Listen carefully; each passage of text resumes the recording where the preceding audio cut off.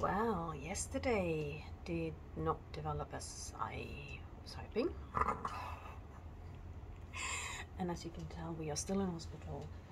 Elin's asleep behind me. At the moment, her pulse is around 120, which is really nice. Not that you can see it because we got the IV drip right there, but she's sleeping, and that means that she's currently not fitting. She's not had a good day and night. It's been really, really, really rough for her. And I'm gonna try and, and explain what has happened. I'm not gonna try and answer your questions because, quite frankly, the answer to all of your questions is we don't know. Why is she having seizures? We don't know. What is triggering them this time? We don't know. How can we treat them? We don't know. Sorry. I wish I wish I knew. I wish I had a better answer, but I really don't. Um yeah, so I brought her in um, I brought her in uh, just before 8 o'clock yesterday morning and it is now just before 9 o'clock so we've been in for a little over 24 hours. You know in a good good mood good state uh, clearly having seizures but not you know no disasters. She was given a second dose of buccal midazolam. When I'm, what I mean by second was I gave her a dose of buccal the night before so pr practically 12 hours before she'd had buccal, and that's when we were at home and she was sleeping well that night and then she was fitting again in the morning as you saw in the last video. Yes, we gave her a second dose of buccal. That did not do a damn thing. It did nothing. Nada. Zilch. Nothing. like we might as well have just put some water in her mouth. That's how effective that was. Uh, and uh, we tried to get a cannula into her and get bloods for blood tests. Uh, we managed to get bloods for blood tests. Eh, we didn't manage to get a cannula in at that point. And then Elin kind of goes, right, well, you know, you know what I'm like when I'm ceasing. I'm going to throw up uncontrollably. I'm not going to keep anything down. Um, I, I gave her her morning medicines and that just all came up.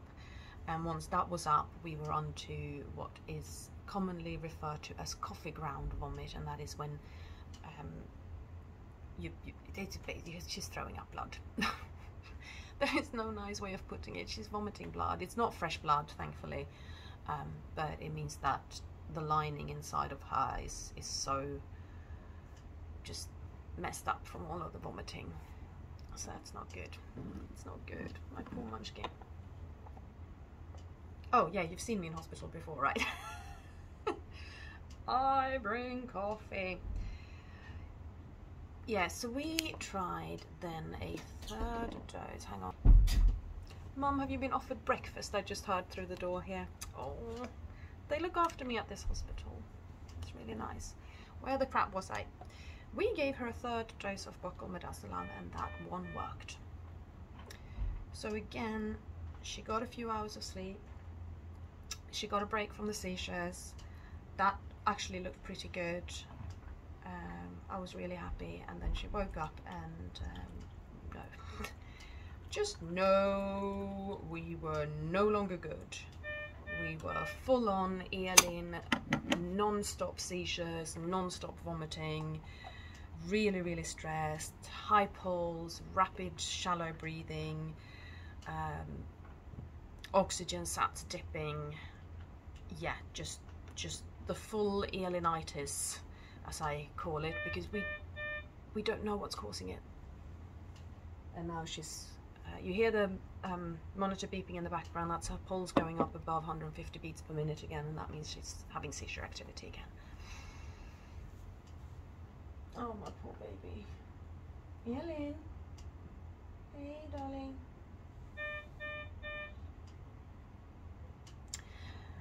She then went on to have, hang on, here she is. Here's my little munchkin. I'm gonna say hi. No, I'm not feeling well, say. I'm really not feeling well. She then went on to have a couple of really, really nasty and scary turns yesterday. Uh, things that I've not seen before. So I'm here with oxygen mask and suction because she keeps throwing up and she keeps kind of choking on it and her oxygen sats keep dipping. and obviously she's fitting a lot. And um, uh, the nurse came in just as I had the oxygen on, and she went. She sort of asked um, what her sats were doing, and I said, "Well, she dipped down to 86." And she said, "What, 26?" And I said, "No, if she dips down to 26, I promise you, I'm going to scream. Heck, if she's dipping down to 76, I'm going to scream." Ha ha ha! You know, this was really funny joke. Nurse left the room. Elin sats do- dropped to 70. I pulled the emergency button.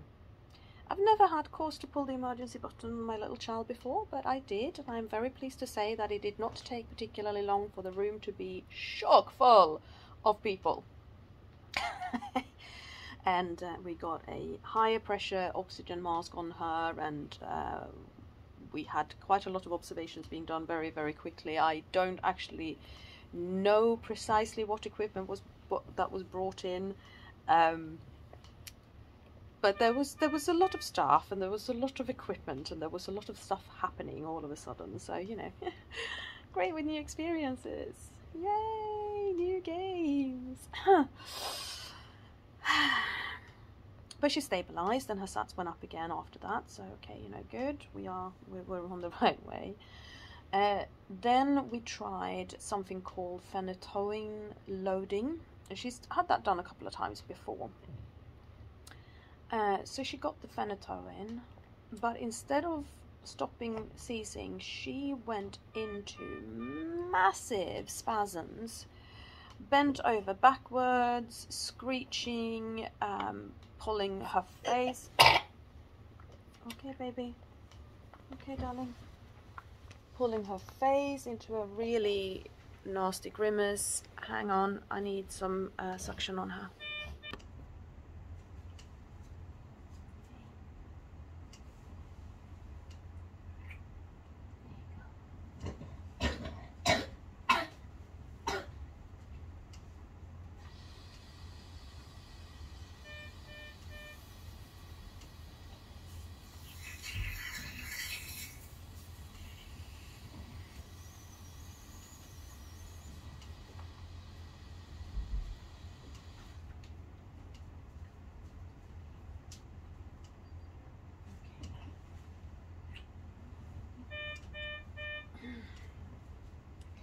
Yeah.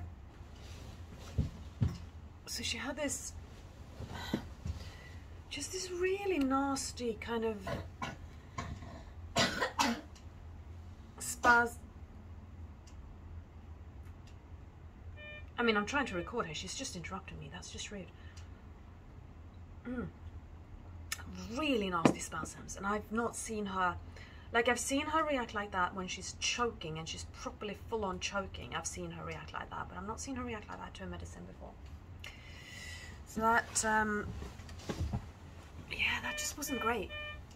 And I still don't know if that was a reaction to phenytoin. She has had phenytoin before and not reacted, but this time she reacted. I got some of it on video, which I'm happy about, so I can show the doctors. Um, and we're just going to have to assess and review yeah, and now we are back to waiting for answers that we're not going to get. We're, we're trying to find out, but we're not going to find out, basically. I have requested a chest x-ray. I think she needs one, particularly with her sats going up and down as much as they do. Um, but that didn't happen yesterday. Not an awful lot happened yesterday. One thing that did happen yesterday was that medical mama got her on and um, uh, had a bit of a word because she she's so bad with cannulas. So obviously we'd managed to get a cannula in and she pulled that one out. She pulled that one out during that strange episode after the phenytoin. And the doctors were told and then nothing happened. So she went without a cannula for five hours, which meant that for five hours she didn't have IV fluids and she most importantly did not have any of her bloody medicines, including, you know, all of her seizure medicines. I got a bit I, got a bit grumpy. And in the end, it wasn't actually a doctor who fitted the cannula. It was a nurse who was trained outside of the UK and therefore knows how to fit cannulas. Because it's it's weird that here in the UK the doctors do it because pretty much everywhere else that I know of, it's the nurses who do it. Uh, so she came in and she got the cannula in, um, actually second second attempt. Woohoo! So we'll have her back. I might just request her next time. Give give me give me her. She knows how to do this. Mm. Yeah, I wasn't best impressed. And then it took another oh, I damn medicine prescribed. Yeah. so um, they know by now they shouldn't mess with me.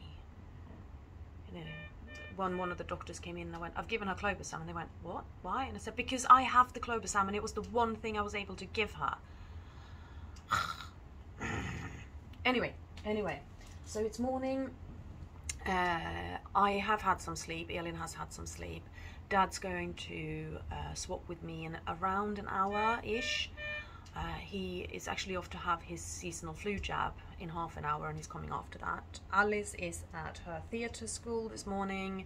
Uh, one of our friends gave her a ride there. Village! The village comes together when things are in crisis. Um, and then Alice and I are actually going to go and see some friends. So uh, it should be should be good afternoon. Should be good afternoon and good day. And then just yeah, for me and Alice. Rob and Elin are going to be miserable here in hospital, but what can you do?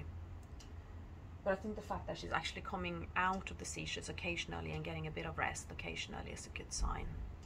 And uh, I've given her clobazam and baclofen through her MIC-KEY button this morning, and um,